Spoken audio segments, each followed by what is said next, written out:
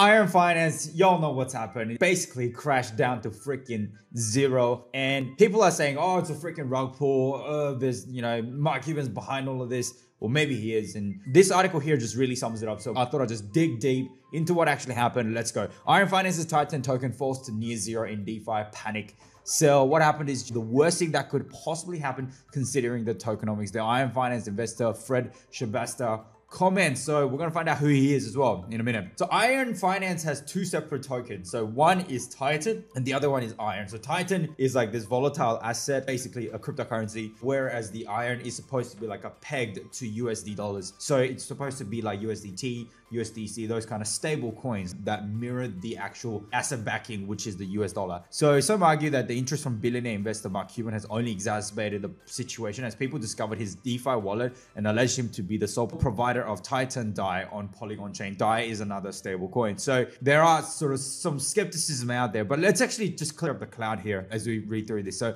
Titan belongs to Iron Finance, a project that began bridging to Polygon's chain on May 18 in a bid to tap into Polygon's efficiency and low transaction fees. A lot of DeFi protocols have begun for that reason on the Polygon network. And you guys know that I made a video on Polycat Finance the other day, and that's another example of those DeFi protocols that's actually been built on Polygon. The project was attempting to put a partially collateralized stablecoin as Iron. Okay, it's interesting that it's only partially collateralized. The stablecoin in turn consists of Circle and Coinbase's stablecoin USDC, which is actually backed by an actual bank account, right? So USDC is actually a very, very stable, it's the most stable stable coin. If you like, USDT has some criticism, but USDT, because of a lot of people are approving its use, so it's not such a big issue for it anymore. But USDC is actually the only thing that's actually the stable, stable coin. And obviously Iron was not because of what actually happened. So we're gonna see how this is actually worked out. As well as Titan and was pegged to $1. Stable coins are cryptocurrencies whose value is attached to financial assets such as commodities or government issued currency in a bid to keep them stable, right? So this is another way that you can withdraw from your cryptocurrency without having to actually hit your bank account. It can just be converted to USDT for a while and then, you know, or USDC for a while and then be invested into any other currency that you'd like to invest into. So in the case of Iron, which received this collateral backing from Titan, users may mint new stablecoins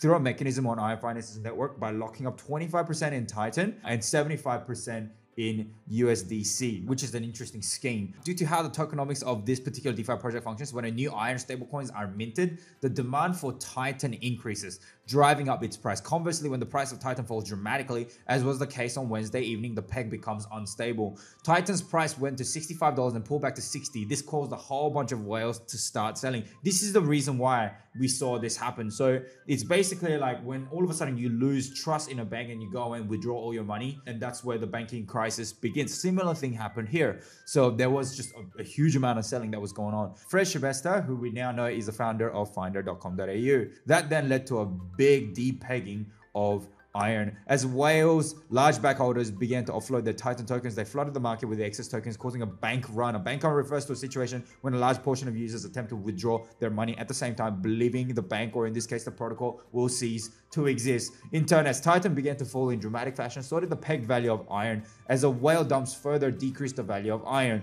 It triggered the stablecoins mechanism that meets Titan and removes liquidity in a bid to stabilize iron to $1, which is a good design of it in itself. But this caused an arbitrage opportunity in the difference in the price of iron and Titan, which in turn flooded the market with even more Titan tokens, adding additional sell pressure and destabilizing iron's price even further. It was a crypto vortex of money, said Schebesta. In the beginning, users were receiving an incredible 2 to 5% annual percentage rate per day, which is crazy. When the dust settled, Titan was near zero and iron was last seen trading way off peg around 69 cents. The project has responded by offering redemptions in USDC, but reminded users that they'll need to wait 12 hours for a time lock feature to pass before this can be executed. Now, I don't exactly know what that means. So here it is. This is a tweet that we're referring to. Since the price of Titan has fallen to zero, the contract does not allow for redemptions.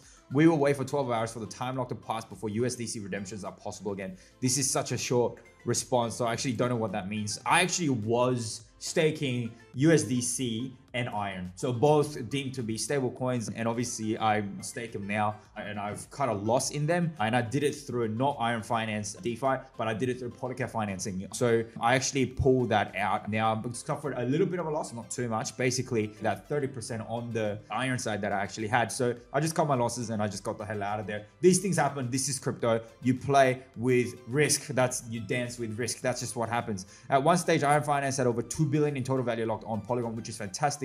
The value has since dropped around 356.5 million, according to the protocol's own dashboard. There was no rug pull or exploits, guys. What happened is just the worst thing that could possibly happen considering their tokenomics. So look, by design, I, along with Mark Cuban, had no problem with Iron Finance and the design behind it. But you know, these things do happen. You know, overnight, you know, that's what investing into crypto is. So now coming back to the pair, this is not Iron Finance, this is Polycat Finance. But yeah, anything that attaches with Iron, we see that their daily and their APY has dropped significantly, and I don't really see anybody doing that at all. And here we have it, guys. This is supposed to be a stable coin, but look at that. It's sort of swimming around in that 60 to 70 cent mark. So look, this is so much better than actually investing into. See, that's what you expect on a pegged coin, but you know, boom, that's what happened. Obviously, this is not as bad compared to what happened to Titan. If you look at Titan, geez, so Iron Titan token, it's actually within 24 hours gone from 50 bucks to basically zero. Is this a buying opportunity? I would have to probably see what happens in the market before I would actually go in. So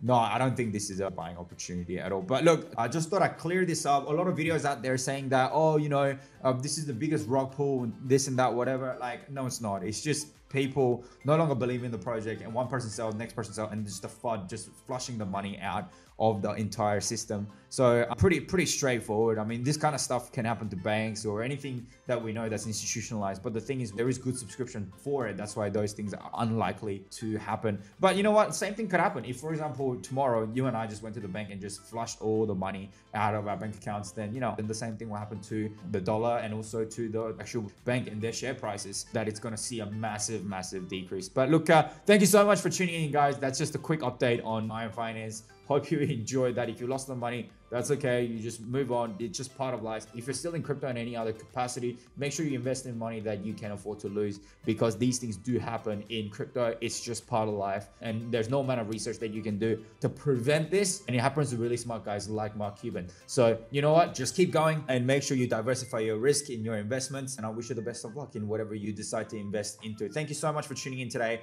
Go follow my socials Go like, subscribe, and ring the notification bell so that you can see these daily updates. Thank you so much. Peace out.